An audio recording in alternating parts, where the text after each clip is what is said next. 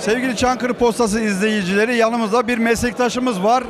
Ankara'da uzun yıllar Çankırı'nın sesi olmuş. Adı da Çankırı'nın sesi olan bir gazete çıkartmış. Mustafa Sansarlıoğlu. Bugün Çankırılar bir gecede bir araya geldiler. Bu buluşma, birliktelik hakkında neler söylemek istersiniz? Evet, e, öncelikle herkese iyi akşamlar.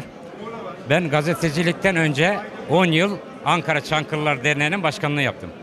Çankırılar Derneği 1972 yılında rahmetli Nurettin Ok zamanında kurulmuş bir dernek. Ben de şerefle onun 10 yıl başkanlığı yaptım. Bu sırada e, çeşitli gazetelerde yazılar yazıyorduk. Bir arkadaşımızın önerisiyle baktık Ankara'da da böyle bir kalabalık nüfus var. Bir buna ihtiyaç var. Bu gazeteyi çıkardık. E, Çankırı'nın plakasıyla özdeş 18 sene bir fiil çıkardık. Ama artık tabii günümüzün ekonomik koşulları, zorlukları tabii biraz da yaş aldık. Yaşlandık demeyelim de yaş aldık. Bunlar zorlaştı. Biz siz gibi genç, becerikli arkadaşlara e, devrettik. Siz de bu maşallah bu işi güzel yürütüyorsunuz. Sizi de tebrik ediyorum. Sizi de izliyorum. Çok sağ olun. Çankırı'nın birlikteliği e, zor tabii. Biz geniş kitlelerin bir arada bulunması zordur. Küçük gruplar daha iyi organize oluyor. Ben de bu işin çok çaba sarf ettim ama ha biz belli bir noktaya getirdik.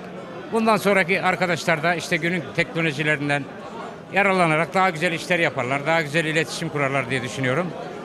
E, Mustafa Bey, Çankırı'nın birlikteliği zor dediniz. Neden zor? Sanıyorum bu yıllara da danayan bir dayanan bir gözlem ve deneyimle alakalı bir şey. Evet. Onu söyler misiniz? Niye zor? Evet bu konuda e, bayağı deneyim, en deneyimli kişilerden biri olduğumu iddia edebilirim. Mükerralık olmasın. E, Çankırılı küçük olsun benim olsun. Ben de bir yerde baş olayım, başkan olayım şeyi var. Bir de şöyle bir şey var. Birini başkan seçtikten sonra her şey ondan bekler.